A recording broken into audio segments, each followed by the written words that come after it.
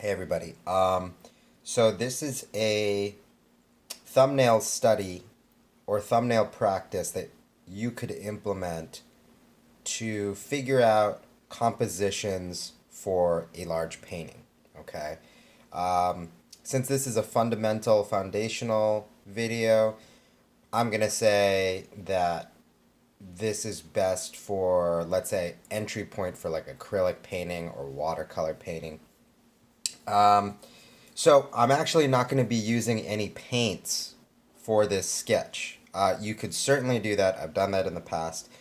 I'm using markers. Um, I think markers are directly translatable to the way one uses uh, particularly acrylic paint or oil paint because painting is done in in layers so you stack colors on top of each other and use um, the nature of paint through the way light goes through paint and the way that paint mixes together, whether it's dry on dry and wet on dry.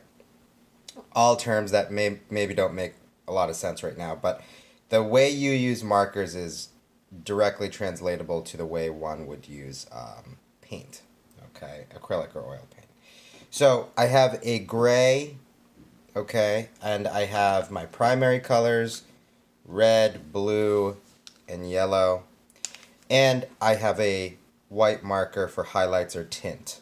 Um, so the reason why I have gray is that uh, I can establish a base coat on the page. And I, I really do use a very neutral gray. You can certainly use grays that are a little darker, but this is uh, this one's a little bit dry, but it'll it'll work for this. Um, painting on white is typically what a lot of people expect to do, and you certainly should in some cases. But um, from an oil painter I learned a few years ago, um, he said, if you coat your your canvas or your page with gray, the colors will look more pure uh, whatever those colors are that you're stacking on top. So gray is a really great foundational neutral tone. Okay, tone being, you know, shadows that are in the middle or um, a color that's in the middle. Okay, um, so there's my base coat, and I did a nice a nice square, so it's a nice controlled area. Okay, I'm gonna be drawing these pair of glasses, these blue light glasses, off to the side. Um, now I am only using primary colors because I think it's best to have just three colors, the parent colors, uh, in order to figure out what color should serve what purpose when I'm looking at an object. So for instance, blue, I'm going to use for shades, shades being the darkest values or shadows because this is the darkest color of the three. This would be for tone, as I said before, stuff in the middle, okay? Um, those middle values, those middle shadows, and then yellow and white marker or the white of the page can be used for tint. Okay, maybe you've seen these things, maybe you've heard of tint, shade, and tone like when you've adjusted a television. Um, so this is these are, yellow will be my highlights. Okay, just using these three colors to render this. Okay. Um, and it's a thumbnail, so I'm going to go fairly quick, okay? And I'm looking from above, which is also nice. It's creating a an interesting angle. And additionally, it's nice to create a box um, and then to draw whatever it is you're drawing outside of that box. Uh, it creates like asymmetry. Um, so you don't have something that is just like flat and stays within the confines of um, the box. I mean, you could certainly do that. Like if you had something on a table, for instance, like if you look at a painter named Wayne Thiebaud, the way he would do his studies, they're very controlled because uh, he played with symmetry a lot and he played with asymmetry, but a lot of his stuff is very ordered. But I'm going to uh, break through um, this box probably at some point to create that asymmetry. So I'm just looking at the darkest parts of the glasses right now.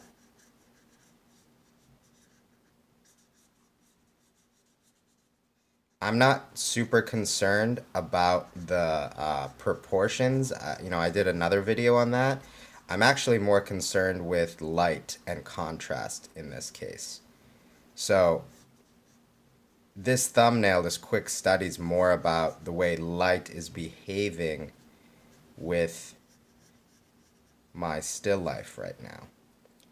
And I apologize if my hand is blocking and there's some cast shadows. I'm going to fix up some lights in the future that'll um, make things a little more br brightly lit and uh, I might get something larger like an iPad to, to film these. For now, I'm just doing it on my phone.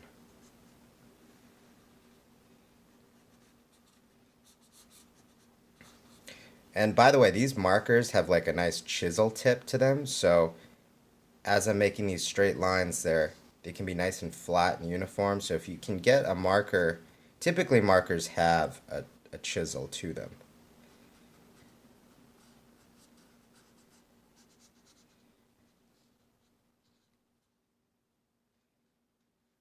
And doing these little studies is actually just generally fun. Um, and there's not uh, there's not a huge buy-in, okay? Because you know it's a it's a thumbnail study. It's not supposed to be perfection. You're just figuring out light and colors.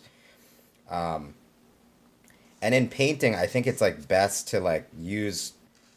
There's so much going on in painting at once that I think it's really important to uh, have a controlled environment as much as possible. Like, don't use too many colors. Like, limitations not only create um, a learning curve for beginners, but I think limitations also create um, a feeling where you're not going to be too overwhelmed uh, or get anxious about um, figuring things out as you go. Because painting is, is a beast, and color theory is, is a beast as well. So now I'm going in with the tone, the red, you know, all of those, uh, all those shadows that are in the middle.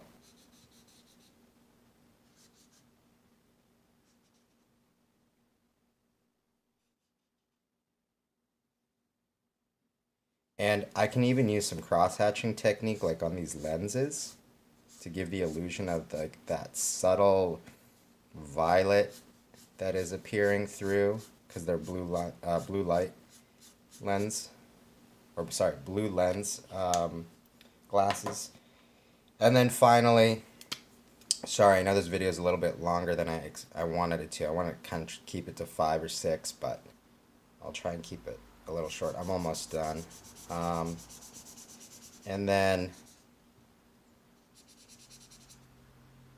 there's the tint. Because the light is falling on the table, a lot of this stuff is brightly lit and it's during the day right now, so I also have natural light on my left.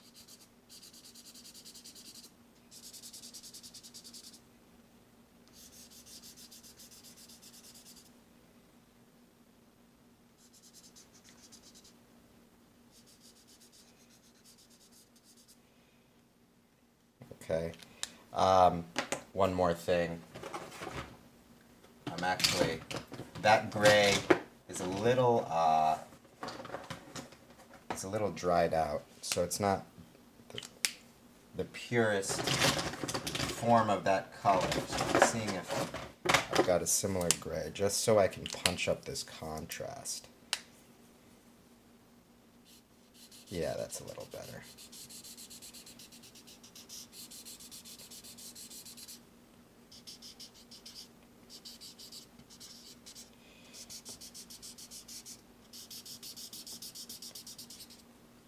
Okay.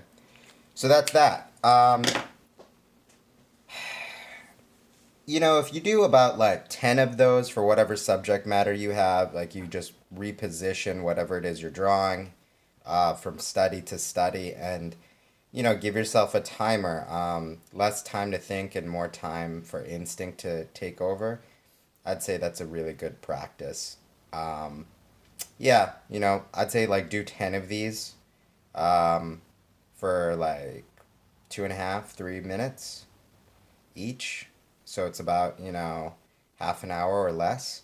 And you'll start to get a really strong idea for composition, color theory, and value and contrast. All right, have fun. Good luck.